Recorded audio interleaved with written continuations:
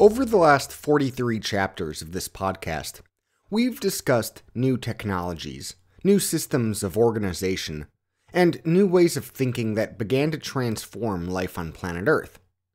The brand new phenomenon of continuous economic growth began breaking down ancient social structures, changing the map as people began moving into new cities, and transforming long established working practices. All the while, new political ideologies and religious views began taking shape, dramatically altering society's traditional mores. Simply put, there had not been such a significant moment of change in human society for nearly 10,000 years. Soon, we will be wrapping up this history of the first industrial revolution. But first, over the next few episodes, I want to explore the impact of this transformation on the culture of the time, how it influenced art, literature, entertainment, food, fashion, and more. I want us to have a better understanding of the outlook of the 19th century. Because to truly understand the 19th century is to understand industrialization.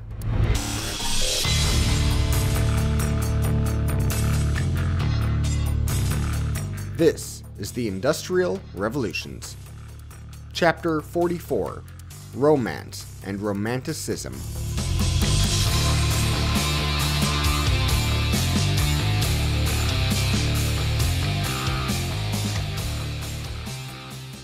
Throughout all the history of civilization, at different times in different places and for different people, the institution of marriage varied significantly in its form and functions.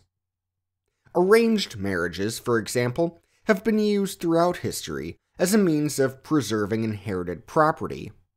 Because land was comparatively much more valuable in the time before industrialization, preserving land holdings for future generations of one's family was more important than it is today. Arranged marriage was also a popular tool of diplomacy for the politically powerful.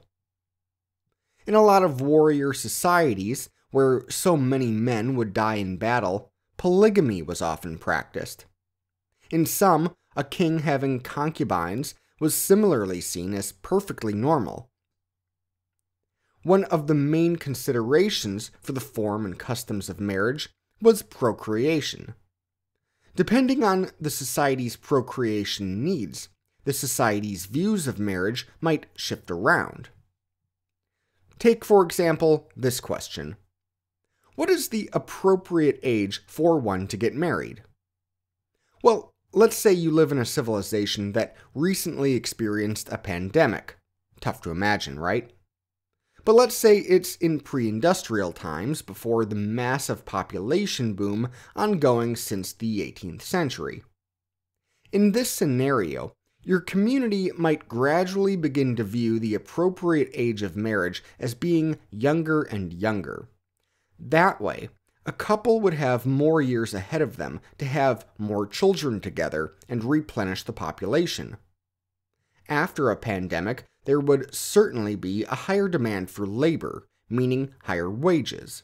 So, younger parents would be more likely to be able to afford the food and clothes for the extra children. A civilization that saw massive famine, meanwhile, might start to view the appropriate age for marriage as being a bit older. That way, as food prices go up, the older parents won't have to worry as much about having too many children to feed. Other preventative strategies were practiced to keep the population in check too, such as a chastity requirement for people who entered the church.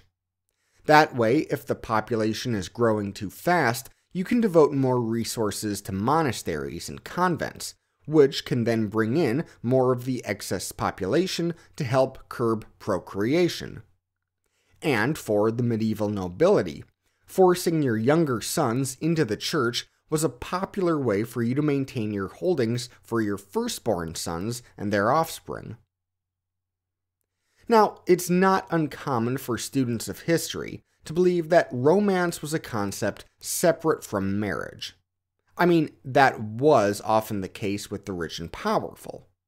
The Roman general Pompey had married Julius Caesar's daughter, Julia, as part of an alliance contract. But when people saw how affectionate he was to her, well, it raised eyebrows. Like, um, lol, this guy loves his wife. What's up with that? And there are so many stories about infidelity in the royal courts of Europe that it leads us to conclude it was normal, that a marriage was nothing more than an arrangement, and that people would find romance outside their marriages. This was, however, probably less true when it came to the vast majority of the population, the commoners. But because such little and sporadic history about them is recorded, it's difficult to draw any big conclusions along these lines with any certainty. What we do know is that by the turn of the 18th century, many of the modern constructs of marriage we know today were starting to take shape in England and British North America.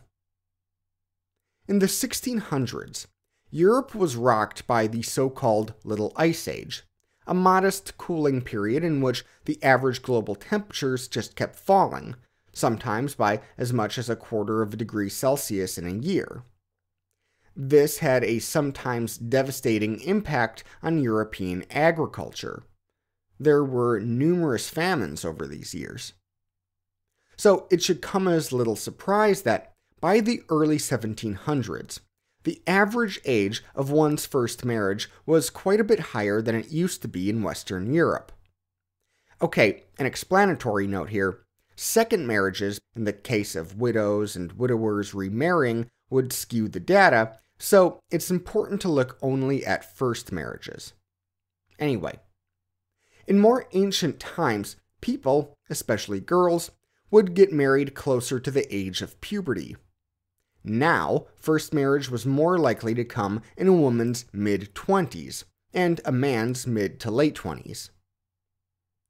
Helping drive this shift in the first marriage age was the growing independence of individuals from their families. In the so called Industrious Revolution, England experienced a gradual transition toward wage labor in both agriculture and small scale manufacturing. As it happened, workers increasingly spent these wages on goods and services for themselves, in addition to, or even as opposed to, for their family units. And wage earning children and adult children would save some of their wages so they could move out and start their own homes. More and more, this became a prerequisite to marriage. As the 19th century social reformer Joseph Livesey put it, quote, No man should take a wife till he has a house furnished for her to come to. And it wasn't just that a couple should have their own home. They would also save up to pay for their wedding, including a fee for the minister and the dinner and party that followed. These early 18th century couples weren't entirely free, of course many found themselves in arguments with their parents over their choice of a companion. And as couples got closer while dating, the communities around them would take note and keep an eye on them, and gossip would follow. But compared to other societies throughout the world and throughout history, this was one in which couples were given a tremendous amount of space to choose their significant others. This was especially true among the working class, within which there was really little matchmaking and chaperoning going on. Courting took on what is to us a familiar pattern. Young men and women would gradually get to know each other, keeping an eye on the field of potential romantic interests, and using friends and other intermediaries to gauge the potential interests of others. Then a man would need to work up the courage to declare his intentions to a woman he had his eyes on if she agreed to let him keep her company, they would start, quote, walking out together, i.e., dating, for a period of time, sometimes several years. From there, they could decide if they wished to get married. In the small communities of the time, marriage was usually a more serious affair than just walking out together. It was important to have the blessing of your parents and your fiance's parents so nobody would object during the church ceremony. As the 18th century progressed, though, these norms began to shift again. By the 1790s, substantial improvements were made in the productivity of agriculture, mining, and of course, manufacturing. Workers could find higher and higher wages in the growing industrial cities and mill towns the British food supply became more plentiful. And as traditional guild apprenticeships declined, fewer young men were subject to indenturement contracts forbidding them from marriage. As a result of all these things, the average age of first marriage began to fall to the mid 20s for men and early 20s for women. Because while the average age of first marriage remained higher in the countryside, it was plummeting in the mill towns. One Joshua Dodgson had been earning wages in a West Yorkshire cotton mill as a young boy. By the time he was 17, he was working as a dyer in Halifax, earning 15 shillings a week. As a result, he felt economically secure enough to marry his sweetheart that year.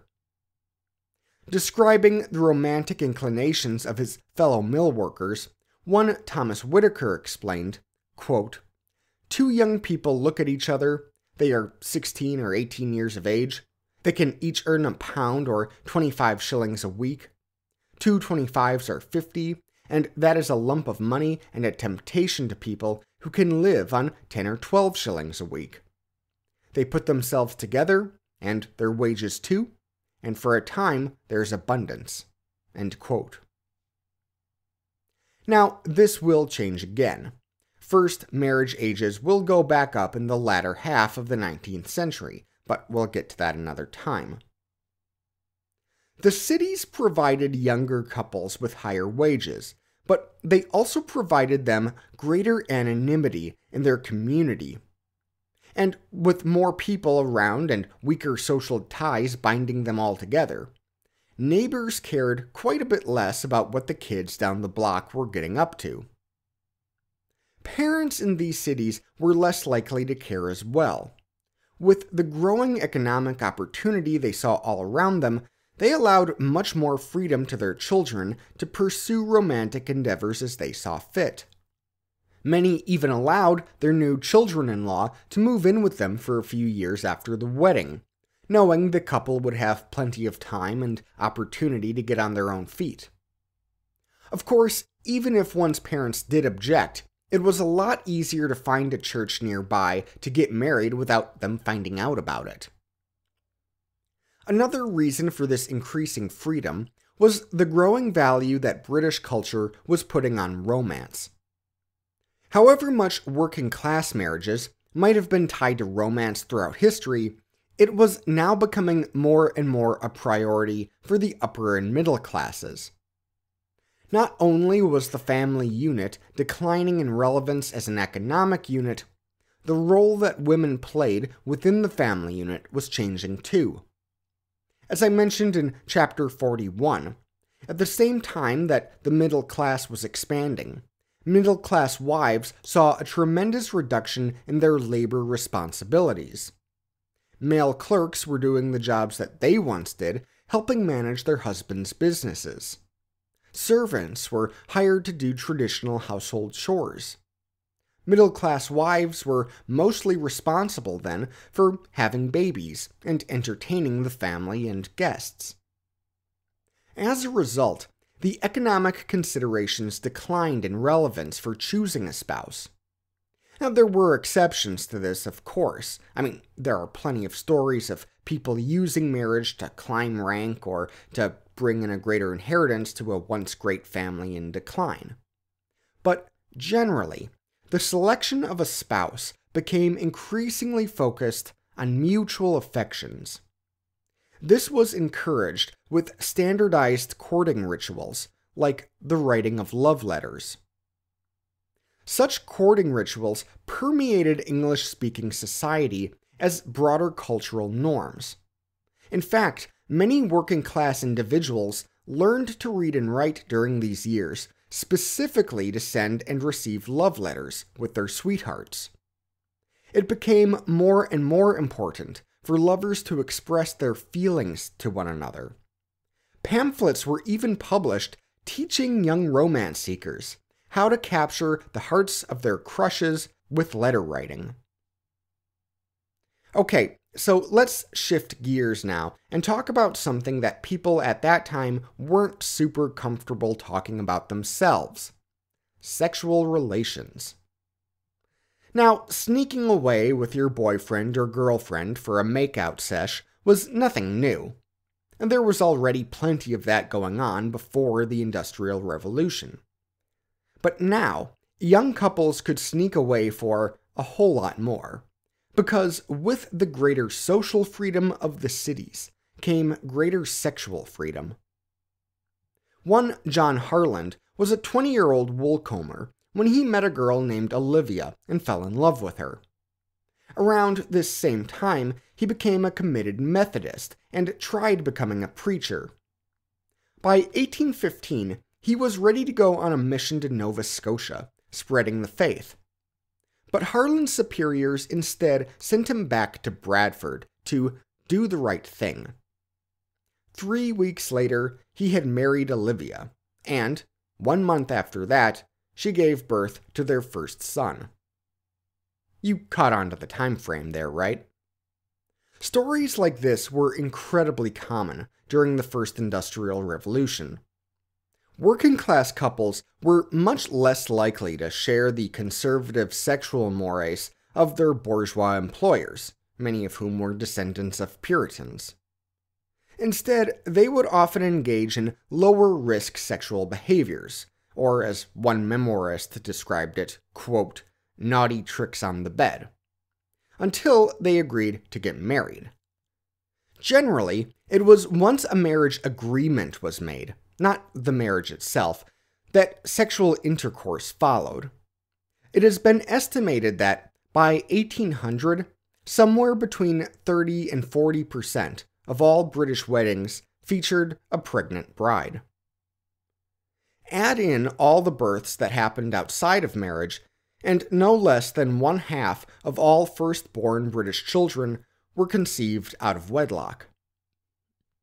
Chastity was not quite the virtue back then that we think it was. But for a man to get a woman pregnant and then not marry her, well, that was considered most unvirtuous. And yet, this was an age before anything resembling modern birth control. And it was also a time when both men and women generally believed that preventing conception was a woman's responsibility. Still, if you were a woman and you got pregnant, and then the father abandoned you, that was seen not so much a moral lapse, but a misjudgment about the father's character. And yet, increasingly, not even that mattered. Among the radicals who organized the rally that became Peterloo was the worker turned poet Samuel Bamford. Ten years before Peterloo, his sweetheart had become pregnant. But he didn't marry her right away. In fact, more than a year passed before they formally tied the knot. And that wasn't even Bamford's first child. Around the same time he was courting his wife to be, he met a woman in an alehouse. It turned into a drunken one night stand. A few months later, she named him as the father of her unborn child. Yet, much to Bamford's relief, this Yorkshire lass, as he called her, had no interest in marrying him, and instead he sent her weekly payments to help her raise the child. Other women, like the several daughters of Benjamin and Betty Shaw, found little use for the men they slept with. Two of them, both mothers themselves, never married, knowing full well they could earn sufficient incomes in the mills on their own, with a little occasional help from their parents. And for the most radical of the radicals, traditional marriage was shunned for political reasons. Our old friend, Friedrich Engels, maintained a romantic partnership for about 20 years with a working class Irish woman named Mary Burns before she died in her early 40s. They were deeply affectionate toward one another, and it's believed she was a major influence in his radicalization. But the couple never married. As they saw it, traditional marriage was a form of oppression, both of the working class and of women. They believed the institution of marriage treated women as mere units of production and procreation. And furthermore, because marriage was used to pass property on to offspring through inheritance, it was also responsible for the creation of the class construct, and thus class oppression. During their years together, Engels had numerous affairs with other women, and Burns might possibly have worked as a prostitute. As the first Industrial Revolution came to a close, though, both the Whigs and the Tories passed laws making these more liberated sexual mores difficult to maintain. The 1834 Poor Law sought to disincentivize sex outside marriage by providing less poor relief to unwed mothers. And the Factory and Mine Acts, designed to protect women and children from brutal labor conditions, meant women and children would have fewer opportunities to earn good incomes children wouldn't be able to save up as much for a possible early marriage. Women wouldn't be able to earn enough money to raise a child without the father around. Many of the new labor unions reinforced these changes by banning women and children from joining. And in a time and place where so many husbands were alcoholics or abusive, these reforms weren't always as positive as we might otherwise suppose. All the practical realities of life aside, though, this was an age in which romance felt ascendant. And no doubt it was, in part, because of the artists who were driving the spirit of Romanticism.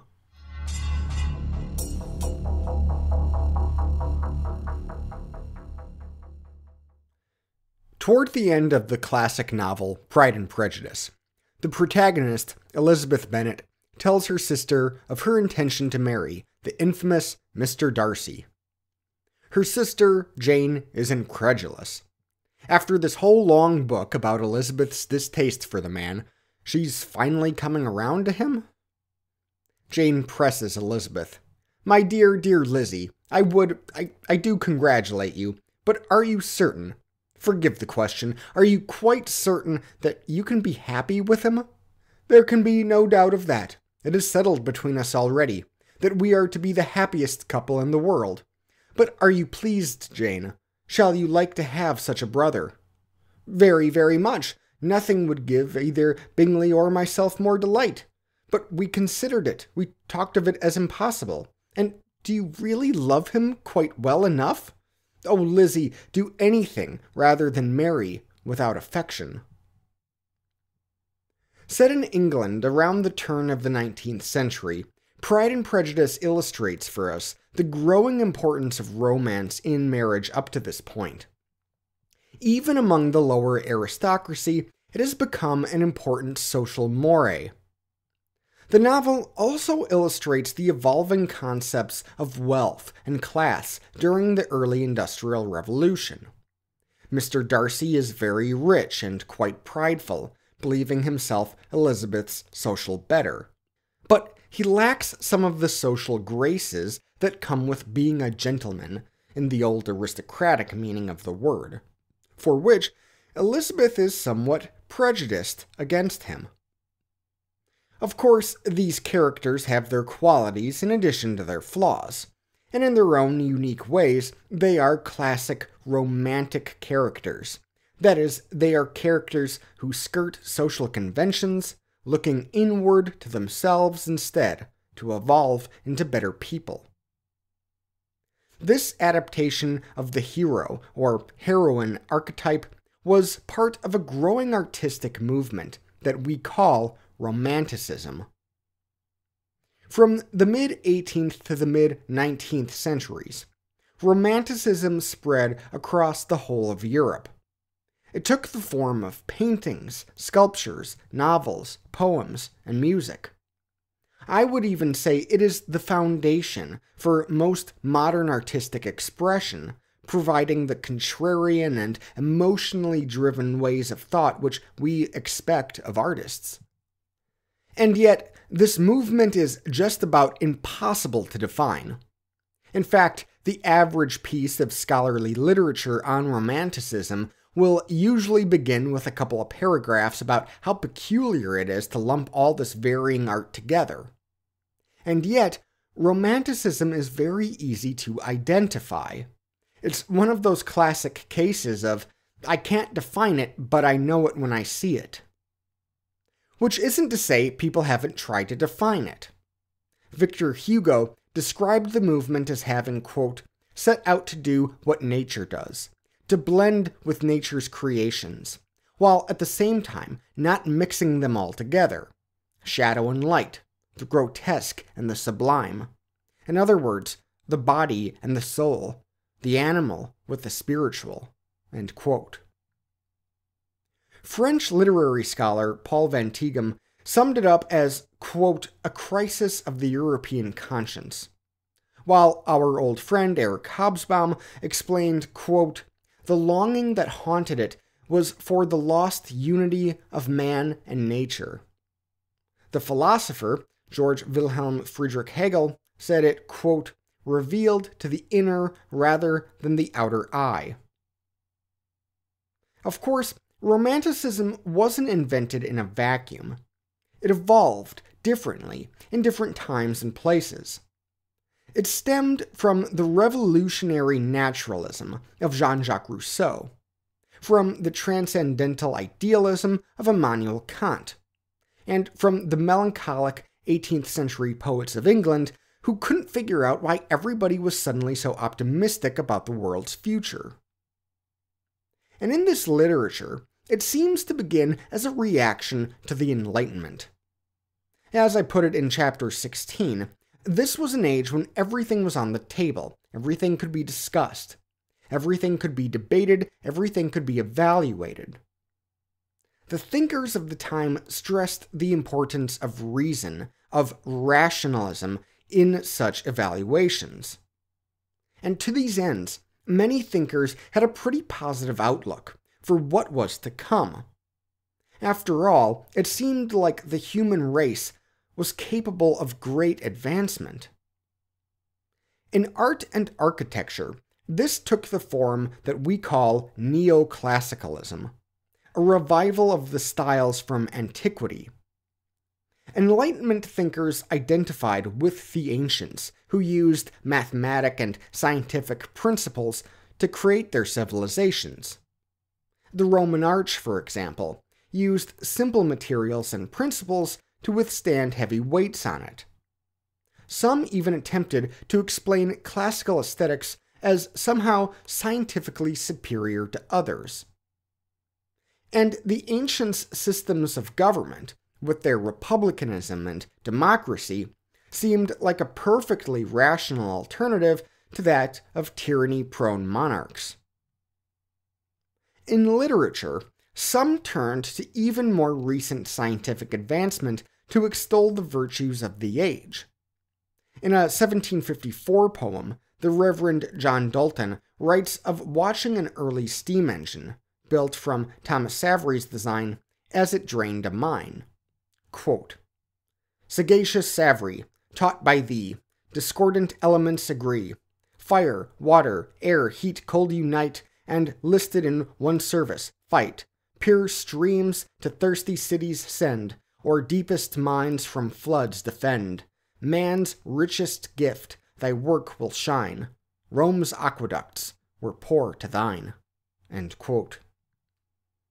Or take this bit of poetry, The Economy of Vegetation, by our old friend Erasmus Darwin. Quote, Soon shall thy arm, unconquered steam, afar drag the slow barge or drive the rapid car, or on wide waving wings expanded bear the flying chariot through the fields of air.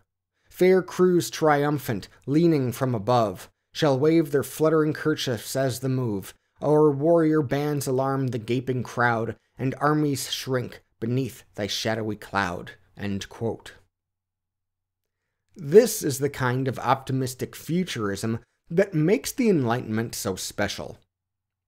But as early as the mid 18th century, a competing approach was taken by other writers and thinkers Gothicism. It began in Scandinavia, where writers expressed pride in their tribal Goth ancestors for defeating the Romans. And from there, Gothicism morphed into a sort of pro medieval worldview. Europeans began to cherish the art and traditions of the Middle Ages. Take, for example, Horace Walpole, the noble son of Britain's first Prime Minister, who wrote perhaps the first Gothic novel, The Castle of Otranto. This book has everything knights, friars, castles, a runaway princess, and a peasant hero who is eventually elevated to a prince. Though intended to be a political satire, the commercial success of this book made the Gothic novel an incredibly popular form of fiction, and a harbinger of Romanticism.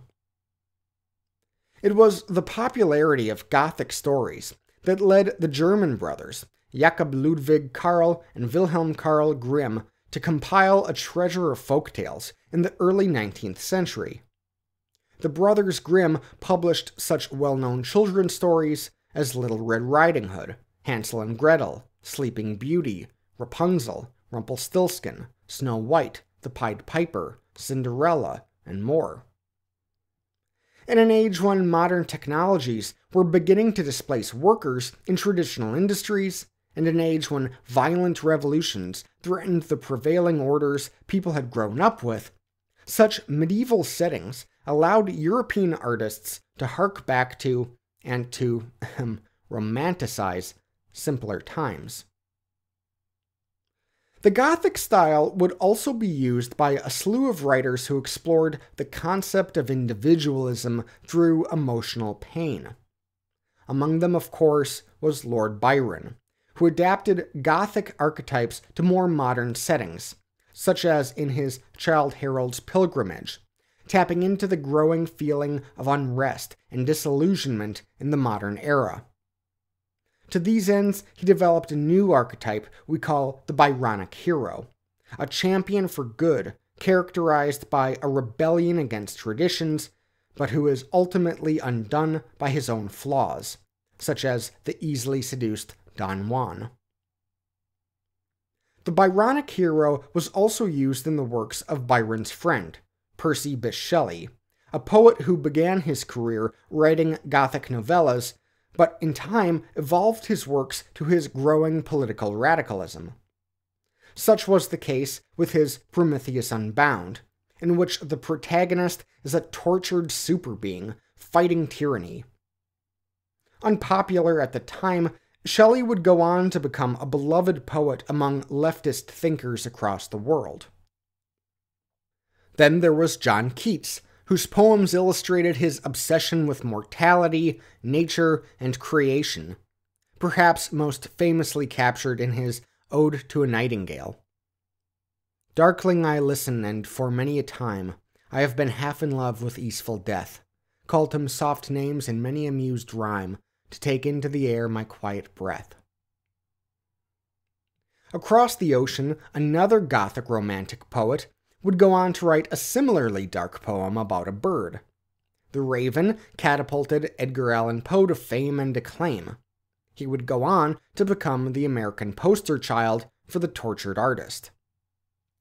Over in Germany, meanwhile, the romantic with that claim to fame was Johann Wolfgang von Goethe. An Enlightenment era Renaissance man in many respects, Goethe rose to prominence after his publication of The Sorrows of the Young Werther, a semi autobiographical story of a young man's obsessive infatuation with a young woman ending in his suicide. He followed it up with his two part masterpiece play, Faust, which touched on similar themes, as well as broader questions about one's purpose in life. Goethe was so hugely influential in Germany that it is nearly impossible to separate him from what was to come in German art, language, and philosophy.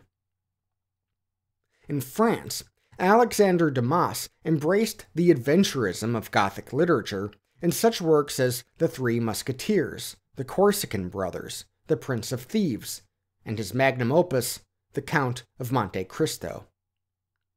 Dumas came from a mixed race and mixed class background, but as liberalism gained a foothold on the continent, the liberal Dumas rose among Europe's intellectual and political elite.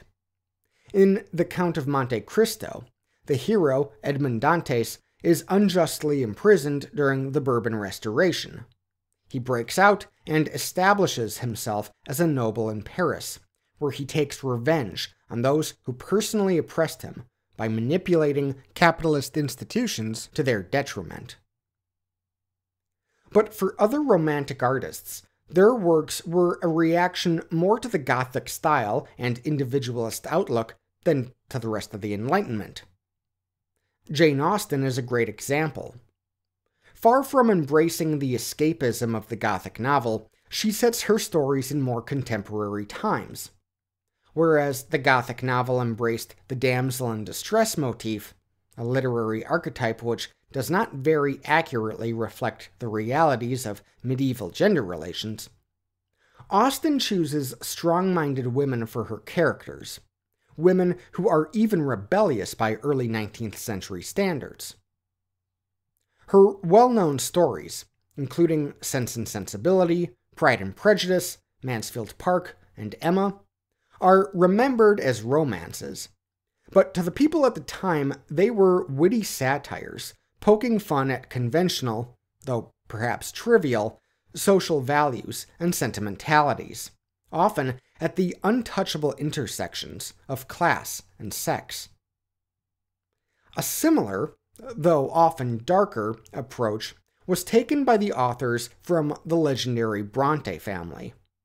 Charlotte, Branwell, Emily, and Anne Bronte grew up in a rapidly changing part of northern England during the late stages of the First Industrial Revolution. They came from a small rural village surrounded by growing industrial cities. Their village grew too big too fast. Tragedy came regularly in the form of disease, which killed three of the four sibling writers by or before their early 30s. The Brontes' novels serve, in effect, as damning indictments of contemporary society. In Charlotte's Jane Eyre, the titular character defies class conventions as she romantically pursues her aristocratic boss. Intertwined everywhere are the tragedies of the time orphaned children, alcohol abuse, epidemics, mental illness. In Wuthering Heights, Emily uses the Gothic damsel in distress archetype, but sets it during the early years of the Industrial Revolution. With this backdrop, she turns the archetypical romantic male hero into the personification of extreme cruelty the social climbing but vindictive Heathcliff. Among the great French novelists of this period was Victor Hugo.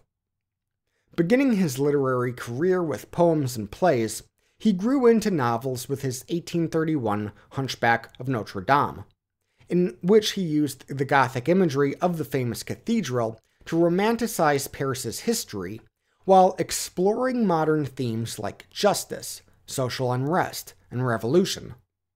And of course, he followed it up with his masterpiece, Les Miserables, which focused on many similar themes it also explored the concept of freedom and the crippling poverty that was unaccountably running alongside industrialization. Also exploring themes of liberty and justice was the Russian poet, playwright, and novelist Alexander Pushkin. Like Keats, he often explored the themes of art and immortality, such as in The Bronze Horseman and Mozart and Salieri but it was his poem Ode to Liberty which made him such a controversial romantic in Russia that he was exiled and censored for years. For other writers of the Romantic period, it was the economic changes underway in society that stirred their passions and directly influenced their works. Among the most famous was our old friend William Blake, who decried the exploitative system of industrial labor and dirty, smoky conditions of the quote unquote dark satanic mills. Shout out chapter 23. And then there was Heinrich Heine, who you'll recall wrote the poem about the Silesian weavers. Verweben, verweben, we're weaving, we're weaving. Shout out chapter 22. Heine explored many romantic themes in his poems and plays, but was especially attracted to socio-political topics. Born into a Jewish German family in 1797, Heine was a distant relative of Karl Marx. He was drawn to liberalism but also showed an interest in, and sympathy for, the burgeoning socialist movement. A critic of censorship in his home country, he moved to Paris where he became an inspiration for the movement Young Germany toward the end of the First Industrial Revolution. A fascinating trend in late 18th and early 19th century Romanticism was the popularity of so called robber novels, or robber plays, tales that glorified highwaymen and pirates who robbed the wealthy. These stories were especially popular in England and Germany. The medieval character of Robin Hood sprang back into literary imagination around this time. And our old friend, William Godwin, wrote a popular novel called Things as They Are, or The Adventures of Caleb Williams in which the protagonist is taken by the captain of a gang of forest thieves. The captain is able to justify the way he lives outside an unjust system of law. One romantic, albeit mediocre writer, I'd like to note was Benjamin Disraeli, who no doubt would have been totally forgotten had it not been for his other, later career as one of the UK's all time most important prime ministers. His most famous literary work, the 1845 novel Sybil, focuses on the plight of England's urban working class. Written while he was a backbench Conservative MP, it stemmed from his quiet support for Chartism. Like our old friend Lord Shaftesbury, Disraeli believed the nation's radicals actually had more in common politically with the Tories than the Liberals. Disraeli himself had been heavily shaped by the new industrial age. Born into a Jewish merchant family in London, he had lost fortunes investing in South American mines and railways. His fascination with the Industrial Revolution is found throughout his several novels. In the 1821 novel, Vivian Grey, he writes about a large dinner at an aristocratic house. Quote, some steam process should be invented for arranging guests when they are above 500. In fact, while we regularly use steam power in a figurative sense today, e.g., picking up steam to describe something gaining momentum, Vivian Grey was perhaps the first book to use it in that sense when the titular character debates with a Marquess. Quote, what, after all, in this country is public life? Is it not a race in which the swiftest must surely win the prize, and is not that prize power? Has not your lordship treasure? There is your moral steam, which can work the world. Has not your lordship's treasure most splendid consequence, pure blood, and aristocratic influence? The millionaire has in his possession the seeds of everything, but he must wait for half a century till his descendant finds himself in your lordship's state. Now, of course, the author who made the most lasting impact criticizing the new economic order was Charles Dickens. While associated more with the coming realism movement than romanticism, Dickens tapped into that same unrest about the growing inequalities of liberal industrial capitalism. In book after book, he explores many of the same themes as Disraeli poverty, crime, social stratification. As someone who was sent to the workhouses as a child, Dickens is especially interested in children and orphans living in these situations. And he uses these themes to develop character interactions that tell layered, even complex stories about this new age. Nothing better illustrates his feelings about industrialization as the 1854 novel Hard Times, a short but blistering criticism of the bourgeoisie in northern mill cities. Perhaps the most important figure in that transition from Romanticism to realism was the French writer Honoré de Balzac.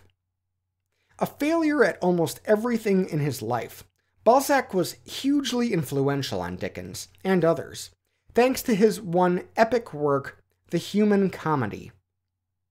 In its many stories, Balzac laments the decline of old, noble, chivalric values, which have been replaced in post revolutionary France by the pursuit of money.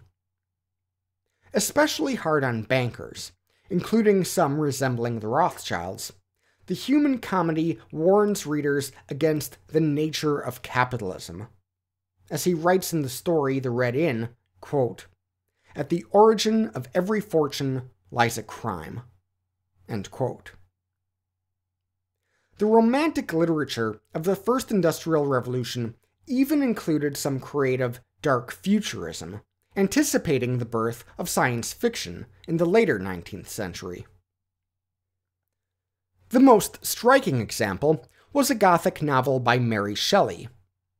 The daughter of William Godwin and Mary Wollstonecraft, as well as the wife of Percy Bysshe Shelley, it's no surprise that she too would be a notable writer. While vacationing with her husband and Lord Byron on Lake Geneva, she reflected on the advancements in electrical experiments in recent decades, in particular those of Galvani. It gave her the idea to write the story of a modern Prometheus, risen from death thanks to the flawed, though well intentioned efforts of a young scientist. In 1818, she published it as a novel, Frankenstein. For some writers, the modern world wasn't something to warn nor to extol, but to escape from. Now, to me, this is one of the most striking movements within Romanticism the movement to vacate civilization for nature. It started first in England, with poets like William Wordsworth, Samuel Taylor Coleridge, and others. Now, some of these were extremely melancholic writers, making Poe and Goethe look like pretty happy campers by comparison. They sought solace by isolating themselves in England's picturesque Lake District. The Lake Poets, as they came to be known, believed it was important for artists like them to have space like this in the countryside, reserved for them to see beauty and create their art. Take, for example, Wordsworth's famous poem Daffodils, which he wrote about a walk in the Lake District. I wandered lonely as a cloud that floats on high o'er vales and hills, when all at once I saw a crowd, a host of golden daffodils, beside the lake, beneath the trees, fluttering and dancing in the breeze. Continuous as the stars that shine and twinkle on the Milky Way, they stretched in never ending line along the margin of a bay. Ten thousand saw I at a glance, tossing their heads in sprightly dance. The waves beside them danced, but they outdid the sparkling waves in glee. A poet could not but be gay in such a jocund company. I gazed and gazed, but little thought what wealth the show to me had brought. For oft when on my couch I lie, in vacant or in pensive mood, they flash upon that inward eye, which is the bliss of solitude. And then my heart with pleasure fills, and dances with the daffodils. I suppose it wouldn't surprise you to learn that Wordsworth was horrified when he learned a railway line was going to be built through the Lake District. Decades later, several more writers would turn this subculture of Romanticism into its own ethos. They weren't clustered in the Lake District, but rather in Massachusetts. Leading them was Ralph Waldo Emerson, a poet and philosopher who not only embraced naturalism, but sought it as the basis for a whole movement transcendentalism. As he writes in his 1836 essay, Nature, quote, The happiest man is he who learns from nature the lessons of worship. It is the great organ through which the universal spirit speaks to the individual and strives to lead back the individual to it. Far from the rational spirit of the Enlightenment and far from the technological and economic achievements made through collective cooperation in the cities, Emerson encouraged people to discover individualism and freedom through self reliance in nature. One of these people was his friend Henry David Thoreau, who in 1845 built a tiny cabin on the shore of Walden Pond, just south of Concord. There he spent the next two years, mostly alone, practicing self sufficiency in nature. As he explained in his book about the experience, Walden, quote, I went to the woods because I wished to live deliberately, to front only the essential facts of life and see if I could not learn what it had to teach, and not, when I came to die, discover that I had not lived.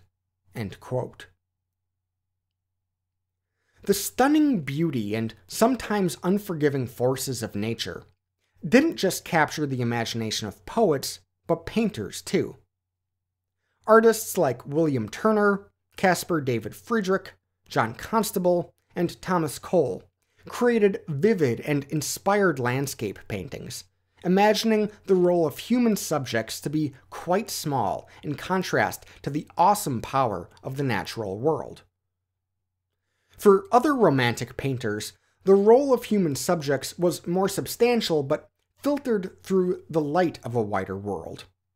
The French artist Eugene Delacroix painted dramatic scenes of individuals wrestling with the forces of nature, including Christ on the Sea of Galilee and Lion Hunt, as well as the forces of civilization. His depictions of warfare and civil strife from around the world were especially significant. Massacre at Chios, Fanatics of Tangier, and most famously, Liberty Leading the People. In fact, the way that violence was depicted in the paintings of Romanticism has been credited as a milestone in the development of humanism, that universal religion we all believe now. Shout out chapter 18. As our old friend Yuval Noah Harari describes it in his book Homo Deus, quote, For thousands of years, when people looked at war, they saw gods, emperors, generals, and great heroes. But over the last two centuries, the kings and generals have been increasingly pushed to the side, and the limelight has shifted onto the common soldier and his experiences. Painters, too, have lost interest in generals on horsebacks and technical maneuvers. Instead, they strive to depict how the common soldier feels. Hitherto, even atrocious experiences were placed within the wider context that gave them a positive meaning. War might be hell, but it was also the gateway to heaven. With the onset of Romanticism, artists found new positive meanings for war.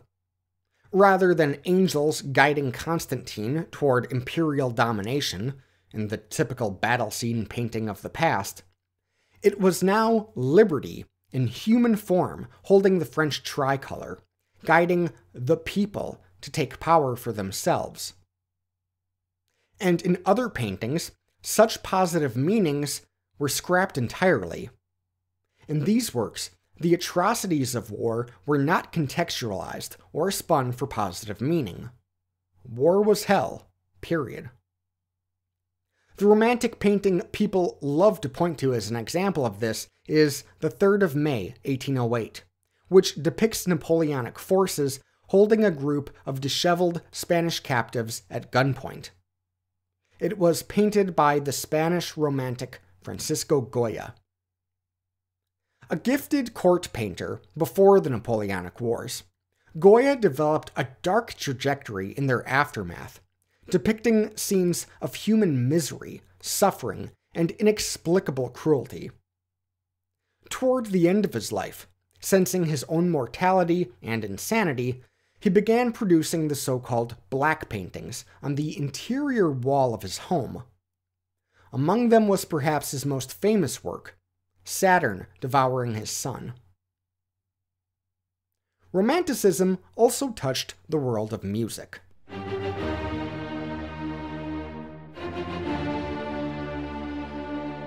In the transition from the classical style of Mozart and Bach to the modern symphony, few were as instrumental, if you'll forgive the pun, as Ludwig van Beethoven. Take this bit of music from his Fifth Symphony, for example. Produced during the Napoleonic Wars, it cleverly evoked the dark sentiments of Europe at the time.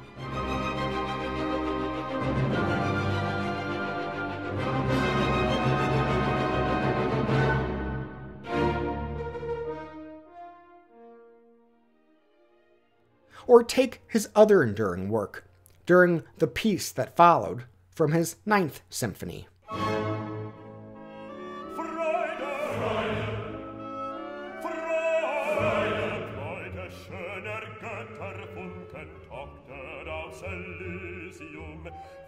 Betreten feuertrunken himmlische dein Heiligtum.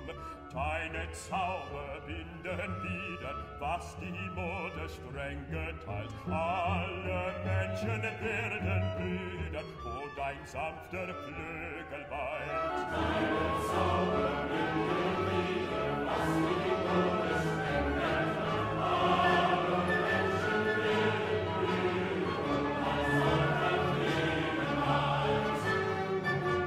Adapted from Ode to Joy by Romantic poet Friedrich Schiller, the music extols the sensory wonder of happiness. Every creature drinks in joy at nature's breast, good and evil alike. Follow her trail of roses. She gives us kisses and wine, a true friend even in death.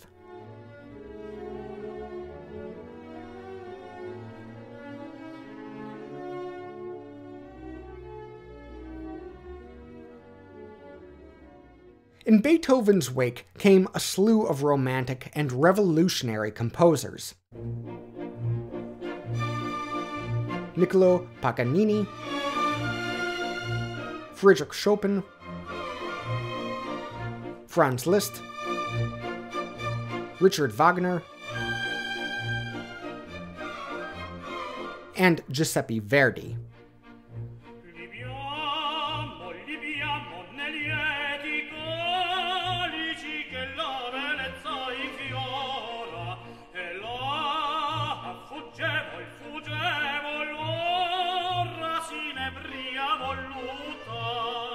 With the growing wealth across Europe, such great feats of music were becoming more and more accessible to a greater number of people. This would create some of the earliest examples of celebrity among the general public. The Austrian ballerina, Fanny Elssler, became world famous, attracting rave reviews in newspapers printed throughout Europe and even the United States. Planographs of her dancing were published, and when she performed, she could command compensation which was staggering for a woman at that time. Another was the so called Swedish Nightingale, the opera singer Jenny Lind, who toured across Europe in the 1840s, amazing audiences everywhere. She was even brought to the United States by circus organizer P.T. Barnum to tour in the early 1850s. She was in such high demand that her constant performing damaged her voice, forcing her into semi retirement at age 29.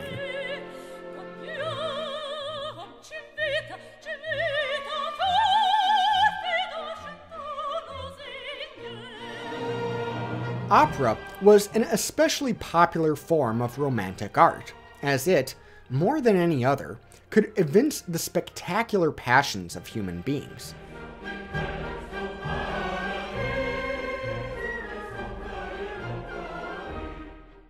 Far from the rational ideals of the Enlightenment, Romantic opera tapped the emotional spirit of humanity.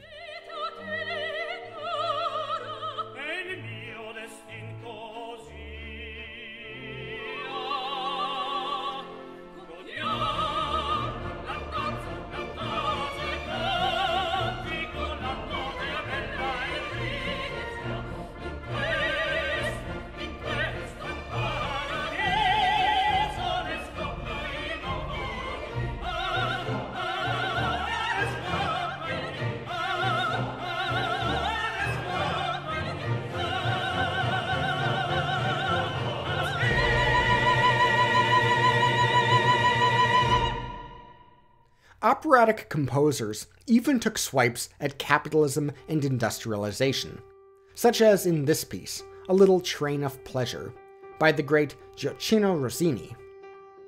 Composing it after a rather unpleasant train ride between Paris and Frankfurt, the song depicts a happy rail journey gone horribly wrong when the train derails and two passengers die.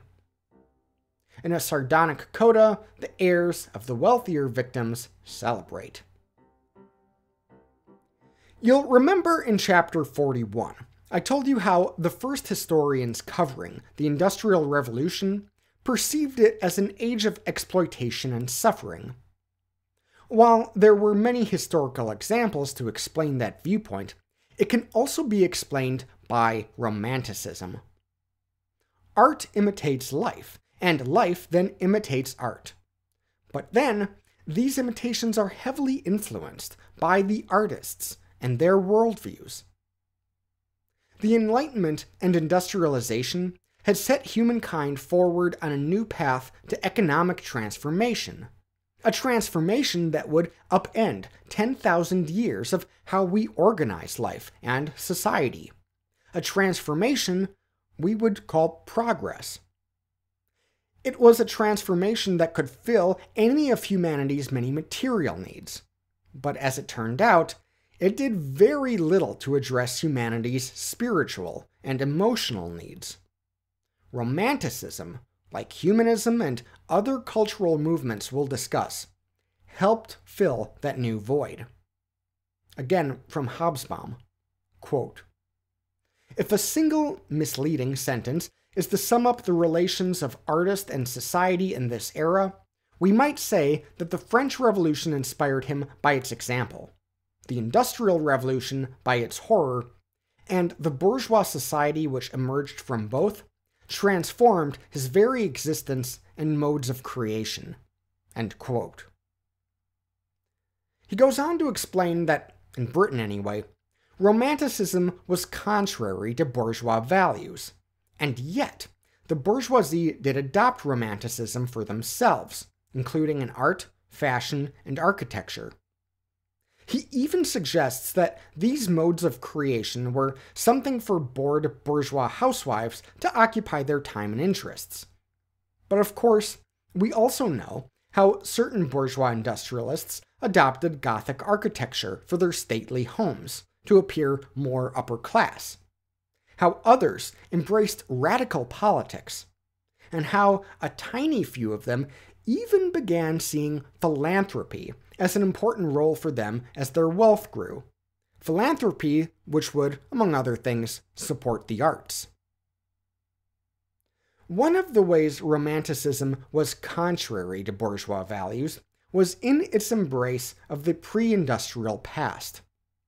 They were romanticizing what they saw as the uncorrupted virtues of the peasant or humble craftsman in the time before all this technological progress. The idealization of the folk, as they were called in English, or Volk in German, or La Gente in Spanish, could be seen in the fairy tales of the Brothers Grimm, the lyrical ballads of Wordsworth, the entertainment of Barnum, the songs of Stephen Foster, the works of Sir William Scott, and more.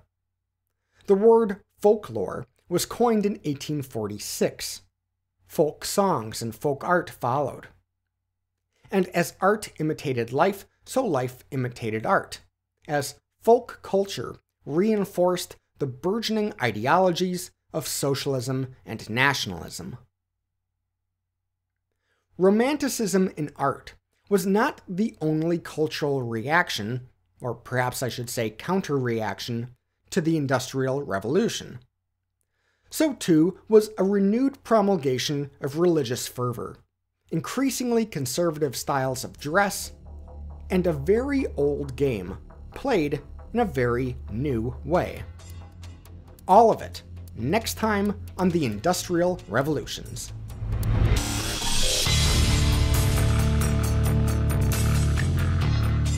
Perhaps I should actually say next chapter rather than next time, because later this month I'll be releasing a bonus episode. I'll be reviewing four TV shows set in Britain during the First Industrial Revolution, so be sure to come back for that. And a quick reminder that bonus episodes don't stay on this feed forever. I take them down after about a month, but you can listen to all the bonus episodes you want plus the footnotes for this chapter and others, by becoming a supporter of the podcast on Patreon. You can join at www.patreon.com slash indrevpod. Thank you to everyone who's already supporting the Industrial Revolutions on Patreon, including John Bartlett, Chris Bradford, Elizabeth Brooking, Tara Carlson, Molly Desjardins, Herbie Irby, Eric Hoganson, Peter Kirk, Brian Long, Christian Sebast, Brandon Stansbury, Ross Templeton, and Walter Torres. You folks are awesome.